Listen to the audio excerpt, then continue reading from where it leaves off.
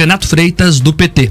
A reunião do colegiado começou pouco depois da uma hora da tarde. Já estava com o um roteiro definido entre os membros do colegiado. O relator da denúncia, que pedia a cassação de Renato Freitas, decidiu votar por uma advertência escrita contra o petista. Matheus Vermelho, que é do Progressistas, foi o relator, então, dessa acusação feita pelo próprio presidente da casa, Demar Traiano. E Matheus Vermelho entendeu que a briga entre Freitas e o presidente da casa não deve ser punida de forma mais enérgica, digamos assim, e uma advertência por escrito deve ser o suficiente para controlar a história. Com a apresentação do relatório, os demais integrantes do conselho pediram vista para analisar o texto. Com isso, a discussão será retomada na próxima segunda-feira, dois dias antes do início do recesso parlamentar. Fontes consultadas pela nossa equipe aqui do RIC Notícias Opinião afirmam que a deputada Ana Júlia Ribeiro, do PT, que é a suplente de Freitas na comissão de ética, ainda pode apresentar um relatório paralelo pedindo a absolvição do colega de partido. Mas essa decisão deve ser tomada só depois da análise do texto do relator. Para entender melhor essa história, vamos lá para a Assembleia. Simone Giacometti está a postos, acompanhou toda essa discussão e nos traz os bastidores, Simone Giacometti. E aí? Então, tudo parado por enquanto. É isso. Oi, Marques. Sim, aí está confirmada essa possibilidade aí citada pela Manu da pedido de absolvição pelo próprio deputado estadual Renato Freitas, que concedeu entrevista agora há pouco aqui para todos os jornalistas e falou que esse pedido, essa advertência é, verbal, ela não seria justa, né, por conta dele ter apresentado provas aí é, conforme o andamento do processo que confirmam que ele não fez uma acusação em vão. E por conta disso, então, esse pedido de vistas feito pela deputada Ana Júlia, ele vai ser analisado na segunda-feira, à uma da tarde, quando o conselho vai voltar a se reunir, como disse o Marco aí, um, Marco um pouquinho antes já desse recesso. Provavelmente, é, esse pedido de vistas ele possa ser acatado ali pelos membros, né? O relator Matheus Vermelho votou aí, né, deu esse parecer pedindo apenas pela advertência do deputado e nem nesse caso não há necessidade mais de vir para plenário. O assunto acaba morrendo ali na comissão mesmo, né? Não precisa mais nenhum deputado aqui no plenário dar palpite sobre esse assunto. Então, se realmente ficar confirmada apenas tanto a absolvição quanto é, essa advertência verbal, o assunto de qualquer forma deve ser encerrado na segunda-feira, nessa reunião aí por volta da uma da tarde, com todos os membros do Conselho. E quem também participou deste, dessa reunião foi o corregedor da casa, deputado Artagão Filho, que fez as considerações dele justamente nesse sentido, né, de contemporizar, de encerrar o ano é, com as coisas resolvidas. E por que isso? Porque a gente está aqui na casa hoje, Mark, com oito projetos que foram encaminhados pelo governo em regime de urgência, até esse assunto também está tomando aqui as discussões na tribuna, referentes, por exemplo, ao reajuste do ICMS enviado pelo governo aí, propondo meio por cento de reajuste, né, passando do valor que nós tínhamos de 19, que nós temos hoje, para 19,5% a alíquota do ICMS.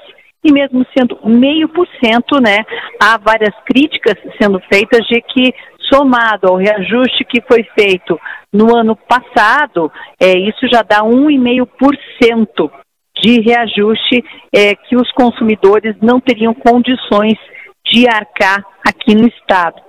Além desse projeto, né, nós temos também, Mark, é, um outro projeto que ampliaria aí, o número de cargos em comissão em algumas universidades do Estado do Paraná, em outras instituições públicas.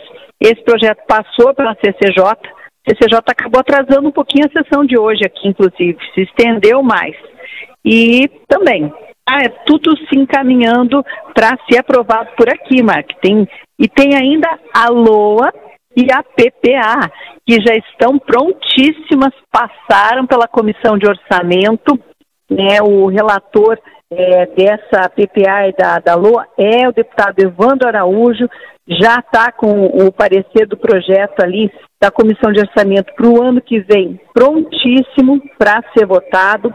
A PPA também, lembrando que a LOA é para o ano que vem, 2024, e a PPA é aquele planejamento maior é, para os próximos quatro anos.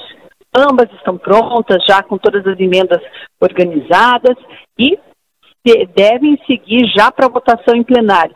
Tudo com a intenção de terminar o ano aqui da melhor forma possível, Mark. Mas tá, tá difícil aqui. Essa semana, Hoje bastante assunto na tribuna. Essa semana será muito quente aí entre os deputados. Vamos então fatiar os assuntos por partes. Primeiro, a questão do Renato ah, Freitas. Mark. Por favor, Simone. Ah, sim, uma última informação para até para você comentar. O que foi citado aqui é que teve uma reunião da bancada de, de oposição que já manifestou a intenção de entrar com uma representação junto ao Conselho Nacional do Ministério Público para é, que dá andamento e rever algumas questões que foram colocadas, alguns documentos que não teriam sido aceitos ali durante a defesa do deputado Renato Freitas. É isso. Há uma tentativa de construção para esse caso em específico. Eu lembro a você que o Renato Freitas responde a vários pedidos é, de quebra de decoro na comissão de ética. Então, nesse caso treino específico, há a tentativa, não sabemos se dará certo, a tentativa de construção de uma solução que não aborde mais o plenário, por vários motivos, né? O principal deles é porque vieram novas provas ao processo e os deputados não querem passar pelo constrangimento de terem que votar esse caso em específico. Então, a construção desenhada ali pelos bombeiros da Assembleia foi qual? Ó, vamos resolver de forma administrativa, uma advertência por escrito. Aí o regimento diz o quê? Que não precisa ir para plenário. A própria comissão de ética pode fazer a advertência e tudo estaria em tese, em tese para os bombeiros resolvido. Vamos ver agora o que fará Ana Júlia Ribeiro, que é colega de partido do Renato Freitas, só está na comissão porque ele é investigado nesse caso em específico, é o que se desenha também nos bastidores da bancada de oposição é que ela possa apresentar um relatório paralelo ao do Matheus Vermelho, propondo ali uma outra solução, quem sabe até a absolvição. Vamos ver como é que isso será construído. O pedido de vistas dura até a próxima sessão. Então, terá que devolver a discussão já na próxima sessão. Vamos ver como é que eles vão resolver isso. A gente vai acompanhando para ver no detalhe. Mas eu lembro que o Renato Freitas ainda tem outras representações no Conselho de Ética eh, que ele terá que responder. Então, a questão, nesse caso específico, é que eles não querem debater em plenário.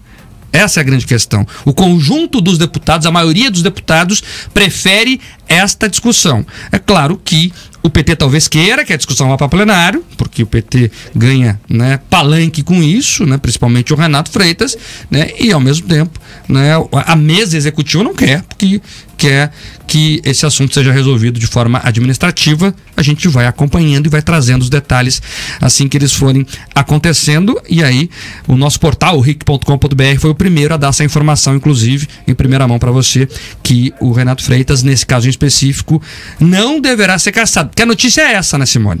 Ele não será caçado Isso. nesse caso, porque não, o relator não já não pediu a cassação e estava é, é, nas mãos dele fazer isso, digamos assim. Já falou que se tiver punição é a advertência por escrito e, por outro lado, a Ana Júlia Ribeiro, que tem todo o direito de pedir vistas e, e propor um relatório paralelo, não vai deixar mais grave que isso, né, Simone? É, mas é, pelo que o Renato adiantou aqui, a, o contra-ataque virá. Né? É, quem acusou poderá ser acusado, de acordo com as palavras dele. Então, o próprio presidente da casa, é deputado Ademar Traiano, no futuro, segundo né, o deputado Renato Freitas, poderá vir a responder também, e nas palavras do deputado Renato Freitas, eh, não poderia ficar aqui a, na presidência da casa. Né, também houve essa, eh, houve essa fala ainda hoje aqui e tudo indica que na segunda-feira provavelmente não sei se já vai dar tempo de ter tomado essa providência também, né, Mark? Que está é, tá, tá se encaminhando para votar a LOA, está se encaminhando para votar a PPA, e quando isso acontecer, fecha o ano aqui. É isso. Então não sei se dá tempo hábil para isso também. Perfeito. E a tentativa, inclusive, é essa, viu, Simone? É deixar esse caso para depois, pelo menos por parte dos bombeiros ali da Assembleia, o pessoal que quer é, discutir isso só no ano que vem. E o governo tem muito interesse em deixar esse assunto para depois. E não é nem uma discussão ser contra ou a favor a Renato Freitas para o governo. O governo quer resolver a vida dele, que é aprovar a LOA, é, que é aprovar o aumento do ICMS, que é o assunto que eu quero abordar agora esse assunto não é fácil para a Assembleia. Muita gente está dando não. ele como resolvido, mas a pressão está acontecendo. A pressão do governo, obviamente, para a aprovação do projeto, mas o setor produtivo tem reclamado e o chato tem sido forte, né, Simone? Principalmente as entidades do setor produtivo.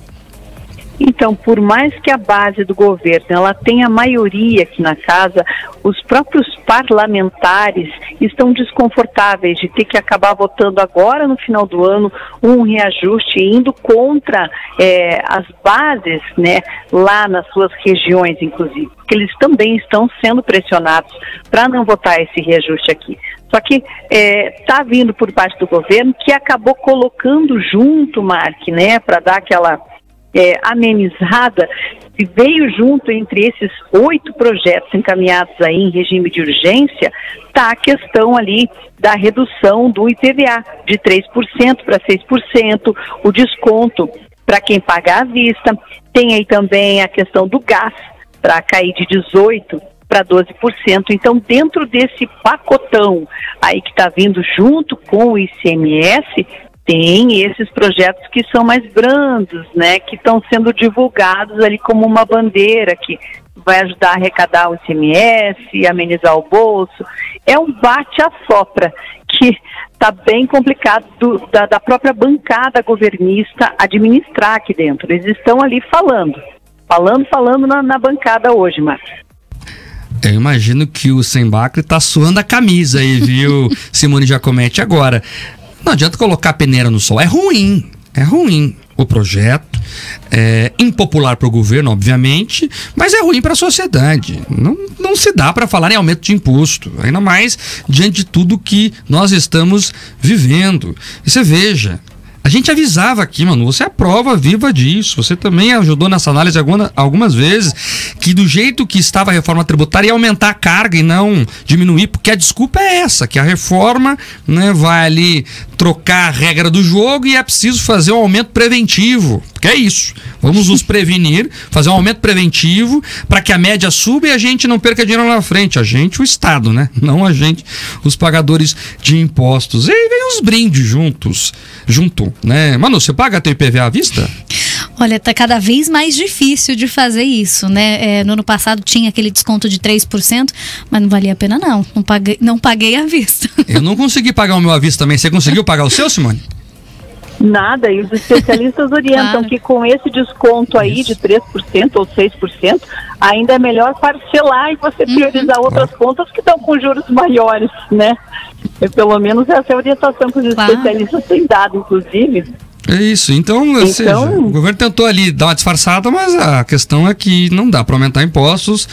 O ICMS afeta toda a cadeia produtiva, vai impactar ali em produtos do nosso dia a dia. É ruim. Agora o governo vai fazer pressão. O governo tem uma grande base. Vamos ver como é que essa base vai se comportar diante dos apelos também da opinião pública, das federações é, do setor produtivo. É, e o debate está quente lá. É bom que o debate aconteça, faz parte do jogo democrático, mas né, tem pouco tempo. Vai ter ali uma semana. Vamos ver como é que tudo isso vai se dar. Simone Giacometti, você que está aí no calor da Assembleia, da assembleia né? No, no, no, piso quente do plenário. Qual que é, é a, a cena nesse momento? É, vai passar provavelmente, né, Mark? Passou hoje pela CCJ, é, como eu disse ali, foi uma reunião um pouco mais longa, até por conta de algumas, alguns pareceres ali, algumas discussões, mas acabou passando. É, se receber aqui pedido de vistas, vai voltar para a CCJ tem tempo hábil ainda, inclusive para fazer sessão extraordinária, né? Convoca uma ordinária da, da CCJ, que também é um hábito que, que o regimento permite esse, esse tipo de manobra, né? E, e acaba votando. Então, vamos ver hoje aqui se vai receber algum, alguma emenda, alguma coisa, alguma tentativa de protelar um pouco mais. Mas está passando, Mark. É isso. É o meu palpite também, viu, Simone Giacometti? Mas, embora eu ache que a pressão tem que existir, né? Quem é contra o aumento de impostos tem que ser ouvido, tem que falar. Aí, se os deputados aprovarem, é, é o rito democrático, né? É, ganha quem tem maioria. Simone Giacometti, você continua por aí, qualquer novidade, já que a coisa anda bem quente por aí, você nos chame, por favor, viu? Obrigada.